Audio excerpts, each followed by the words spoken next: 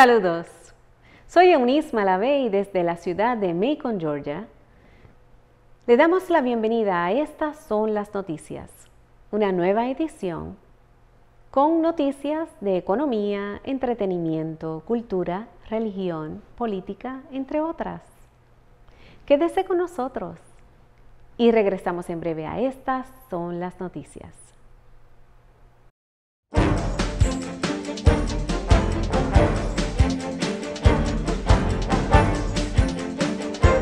Familias de todos los tamaños y formas. A veces los amigos son nuestra familia. O a veces no tenemos más que al gran tío Pepe. Pero siempre queremos proteger a nuestros seres queridos. La influenza o gripe puede cambiarlo todo. La vacuna contra la influenza les protege a ti y a tu familia. Sin importar lo que los una, protégete y cuida a tu familia. Todos necesitamos la vacuna contra la influenza. En noticias locales, arrestan a individuos por solicitar sexo con menores. En una operación conjunta con la Oficina del Alguacil del Condado Bibb, la Oficina Federal del FBI y el Task Force de Match realizaron las investigaciones que llevó a cabo los arrestos en casos donde se estaba solicitando sexo a menores de edad. La operación se llevó a cabo en un hotel del área local durante un periodo de dos días. Los investigadores se hicieron pasar como cómplices de la actividad sexual en los sitios web en línea durante la operación de dos días siguientes, individuos fueron arrestados y acusados de usar la computadora para seducir, solicitar, atraer a un niño a cometer un acto ilegal. Alerta a los peatones de Macon. En días recientes, otro peatón perdió la vida. Si usted cruza por las calles de la ciudad de Macon, por favor tenga cuidados. En lo que va de año han muerto un total de 19 personas. Le sugerimos que tenga en su auto algunos reflectores en caso de que sea necesario caminar en la noche. Si usted es un peatón, le sugerimos que use ropa clara, de neón, chalecos o cualquier otra linterna u objeto que pueda ayudar al conductor a reconocerle. Queremos que usted esté consciente que debe proteger la vida suya y la de los suyos particularmente en la noche, camine en la vía pública que esté iluminada. Quédese con nosotros que regresamos en breve a estas son las noticias.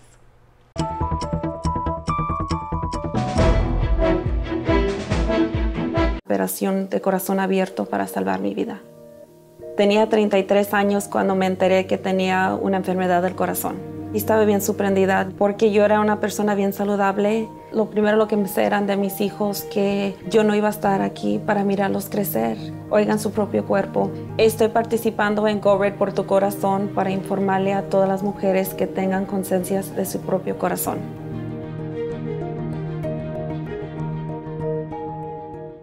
En noticias de Warner Robbins, el próximo 2 de abril se celebrará una reunión en el Wellstone Center, localizado en la calle Maple 155 en Warner Robins, para conocer el interés y la opinión de los asistentes en cuanto al diseño de los parques y a las mejoras.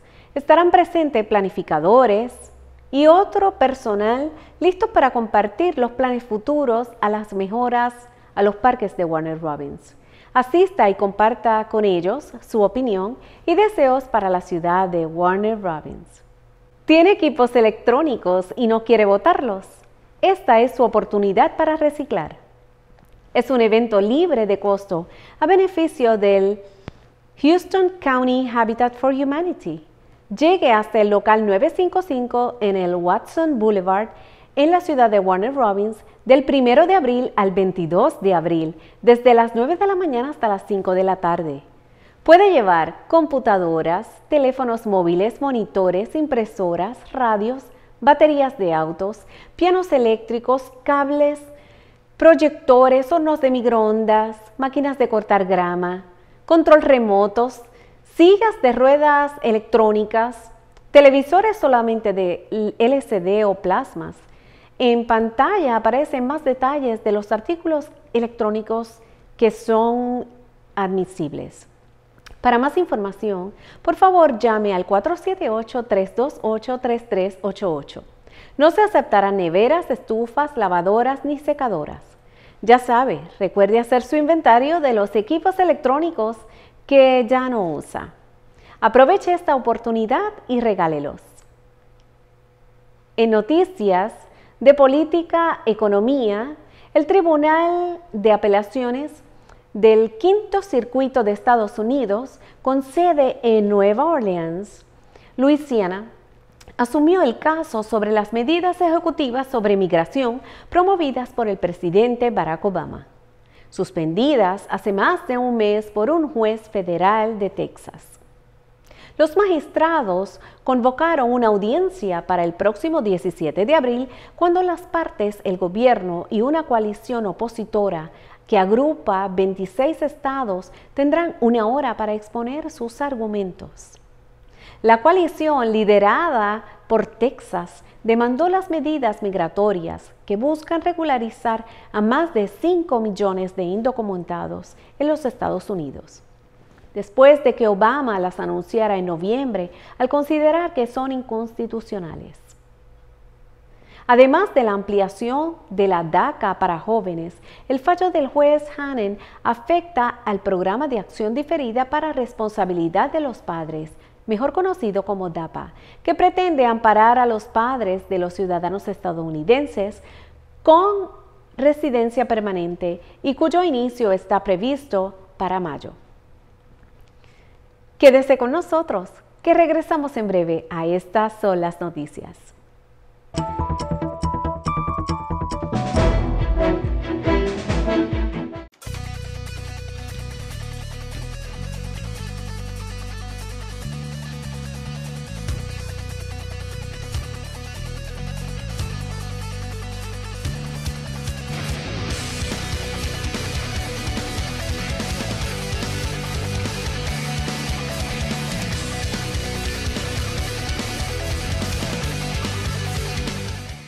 Environmental Safe Landscapes, 478-338-0212. El pasado domingo en la ciudad de Warner Robins se celebró un foro informativo con la participación de la directora ejecutiva de GLAR.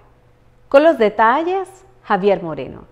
Uh, mi nombre es Adelina Nichols. Nosotros venimos de la organización La Alianza Pro Derechos Humanos del Estado de Georgia, GLAR, mejor conocida, eh, venimos haciendo un trabajo de alcance comunitario, buscando ayudar a nuestra comunidad a estar preparado para que eh, se lleve a cabo la implementación del DACA y el DAPA.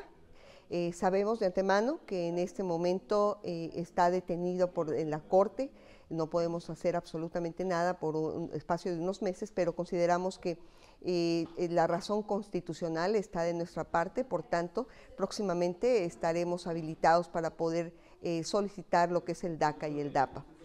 Eh, por tanto, eh, parte de nuestro trabajo es visitar las comunidades en las áreas rurales, precisamente para ayudar a nuestra comunidad a prepararse, para buscar incluso documentos que no cuenta con ellos, pero que van a ser parte de los requisitos. O si no tiene el acta de nacimiento, pues posiblemente mandarla a pedir a sus propias comunidades. El interés es eh, que usted tenga todavía un tiempo de unos meses más eh, para que pueda conseguir esos documentos y no se quede atrás y no se quede sin participar y desde luego este y, sin recibir este beneficio que sin duda eh, pues alcanzará a toda la familia.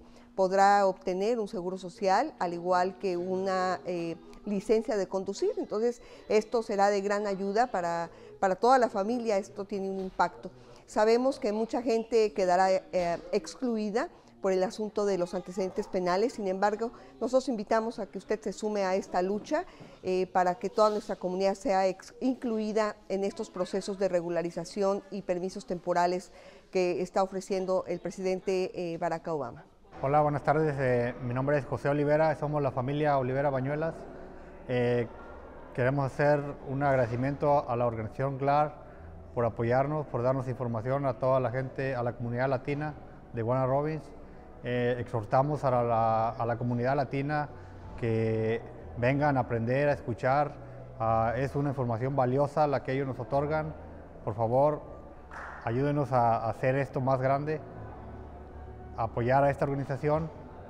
Es en beneficio de la comunidad. Para estas son las noticias desde Warner Robins, Javier Moreno.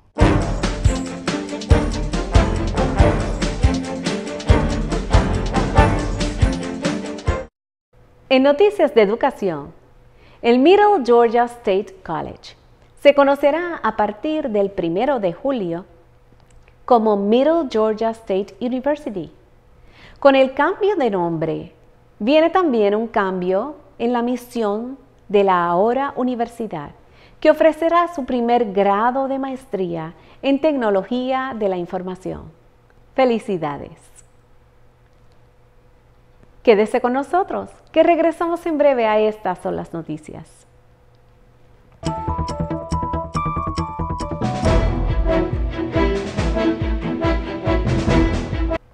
En noticias de entretenimiento y cultura, nuestro productor ejecutivo Moisés Vélez le trae los detalles de las actividades, algunas de las actividades que se estuvieron celebrando en la ciudad de Macon, Georgia, en el Festival del Cerezo en Flor.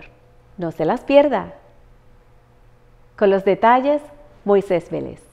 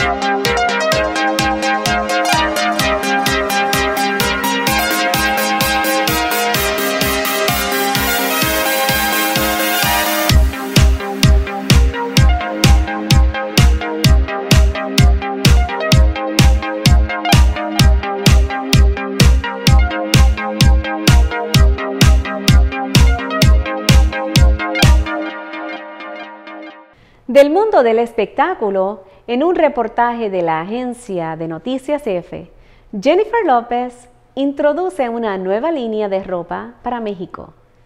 Veamos. Tan deslumbrante como algunas de sus nuevas prendas. Así apareció la cantante y actriz Jennifer López para presentar su línea de ropa en Ciudad de México. Una moda que busca fusionar las influencias urbanas del Bronx neoyorquino y el glamour de las estrellas como ella. Viniendo del Bronx, de ese estilo urbano, que es de todos los días y también algo glamoroso. Y esa mezcla es bien interesante. Es, trabajado por mí por muchos años. Con motivo del estreno de Home, película en la que participa, la artista también tuvo tiempo para hablar sobre la posibilidad de hacer cine en español, algo que admitió entre risas no le convence del todo. Sí, tiene, tiene que tener un dominio del lenguaje um, para ir a cualquier parte y como yo tengo que pensar mucho hablar en español, no sería buena actriz, yo creo, en español. Con esta presentación en México, J. Lowe expande por primera vez su colección de ropa fuera de Estados Unidos y espera vestir a mujeres con pocos recursos en más de mil establecimientos por todo el país. Quédate con nosotros que regresamos en breve.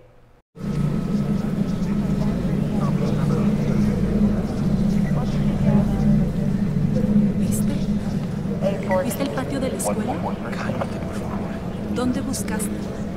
Nosotros no hicimos un plan. De alguna manera nosotros solo... Laura, él es un niño inteligente y él va a estar bien. Está bien. Trata de llamarlo de nuevo. No hay recepción en este momento. Nada funciona. Trata. No puedo. ¿Ya trataste? Nada funciona. Bueno, inténtalo de nuevo. Nada funciona. ¿Crees que él está en camino? ¿Él está bien? Laura. Por favor, dime que él está bien. Necesito que te calmes. ¿Qué? Él es mi bebé. Esto no es nada bueno. Lo extraño. Él anda por ahí, solo. Asegúrese de saber en dónde puede encontrar a su familia en una emergencia. Inicie su plan en listo.gov. En noticias internacionales, cayó un avión de la aerolínea alemana Hermann Wings desde la zona de los Alpes franceses. Las autoridades consideran que no hay ya casi posibilidades de encontrar con vida alguna de las 150 personas, 144 pasajeros y 6 miembros de la tripulación que viajaban en el avión. Por cuarto día consecutivo continúan en los Alpes franceses las tareas de rescate e identificación de los restos del avión de Germanwings, que según primeras investigaciones estrelló voluntariamente su copiloto, el alemán Andreas Lubitz, de 27 años. Las localidades de Saint-Les-Alpes y Le acogieron el jueves a los allegados a las víctimas de esta tragedia que pudieron llorar a sus muertos en la zona más cercana al lugar del siniestro, en el que murieron 150 personas. Fue una jornada muy dura para todos los familiares, acrecentada por las revelaciones sobre las causas del suceso, como describía el secretario de Estado español de Fomento, Julio Gómez Pomar. Tremendo porque daba la sensación de que estaban reviviendo eh, la situación. Eh, pero en fin, eh, yo creo que es muy importante que haya habido transparencia informativa desde el primer momento.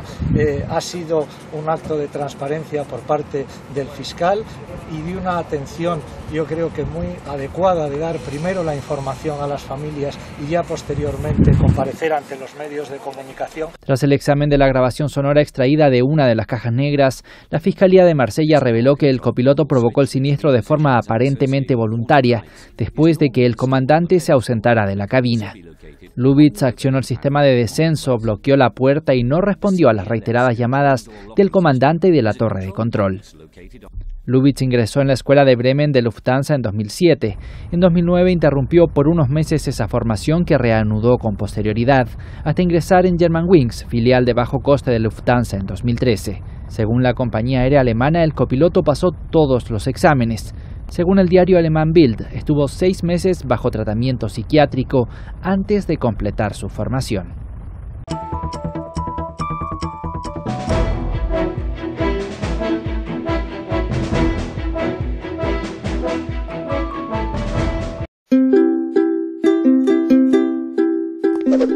¿Está por comprar un carro? ¿Está por presentar una solicitud de empleo? ¿Está buscando una casa?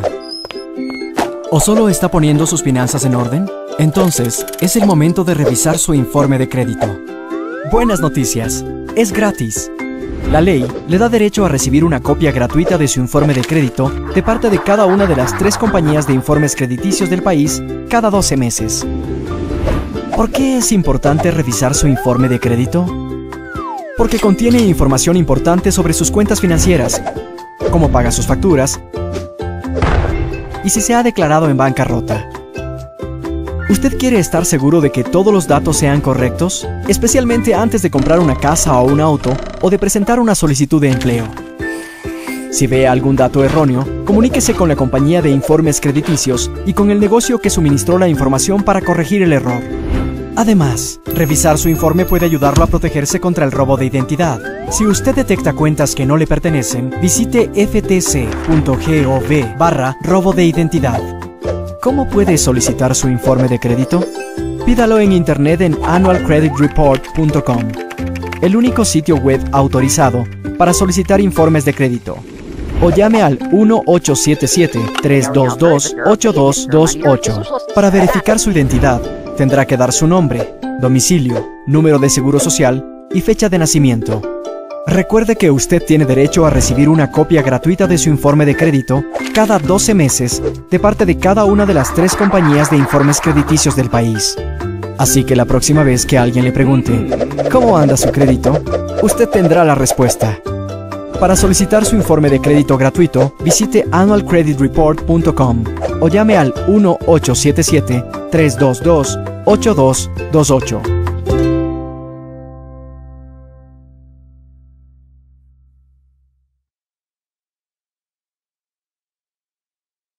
Regresamos a estas solas noticias.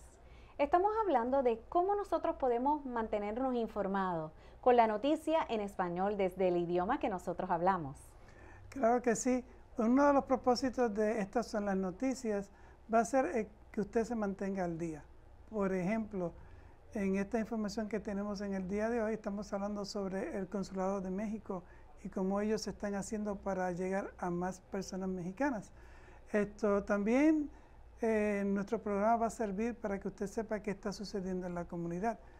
Ah, como ahora va a venir el Festival de Cerezo en Flor, así que los mantendremos informados, van a ver qué está sucediendo, muchas cosas, y si usted tiene algo, una actividad, y nos las deja saber, podemos ir y cubrir esa actividad, ah, y no tan solo en Macon, bueno, en Robbins, Millersville, que vamos a estar ampliando el radio de cobertura. Excelente.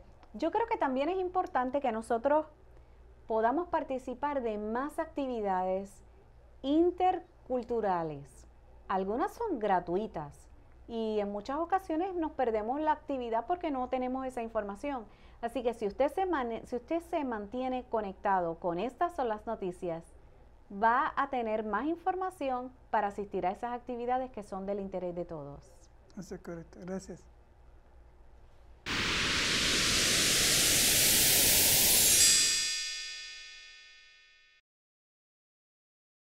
Hola, soy José y trabajo para el Servicio de Impuestos Internos, el IRS. Los preparadores de impuestos tienen acceso a mucha información personal. Si usted le paga a alguien para que prepare sus impuestos, sepa que la mayoría de los preparadores son honestos y confiables. Pero cada año vemos contribuyentes sufrir financieramente porque tomaron una mala decisión al elegir su preparador de impuestos. Si su preparador se rehúsa a firmar su declaración de impuestos, esta es una señal de alerta. Si un preparador de impuestos al que le ha pagado no firma su declaración de impuestos ni usa un número de identificación de preparador de impuestos, esta es una clara señal de que algo no está bien. Otras señales son, le prometió un reembolso más grande antes de mirar sus documentos. Quiere que usted firme una declaración en blanco o incompleta.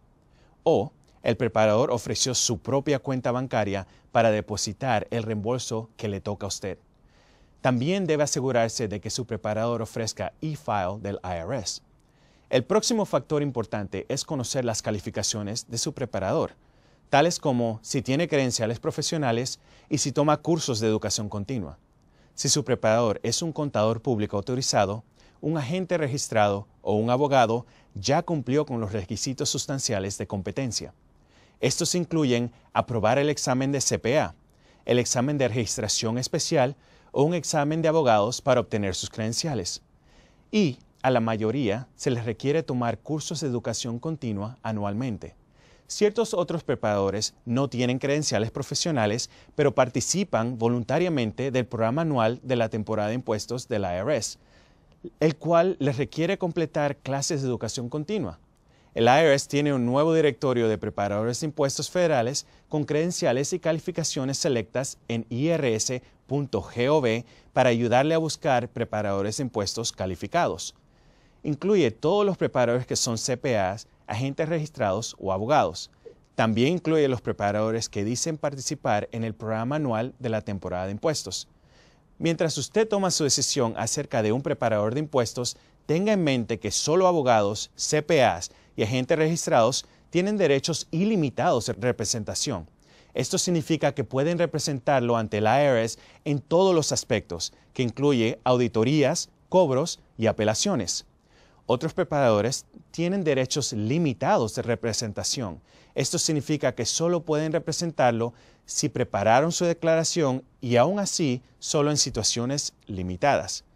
Cualquiera que sea su decisión, recuerde que usted es responsable de toda la información que aparece en su declaración de impuestos. El IRS tiene muchos consejos acerca de cómo encontrar un preparador de impuestos de buena reputación. Para más información visite irs.gov diagonal Choose a Tax Pro.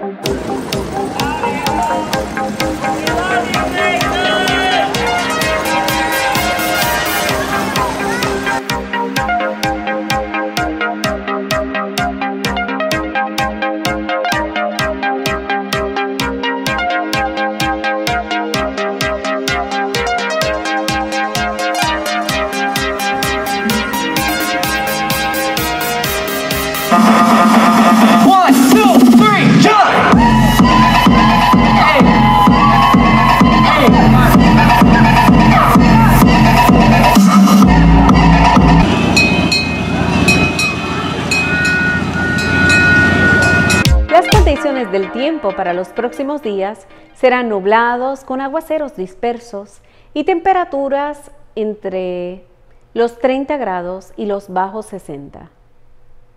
Les recordamos que los anunciantes, así como los productores y esta servidora, no se solidarizan con las opiniones o información presentada en este programa.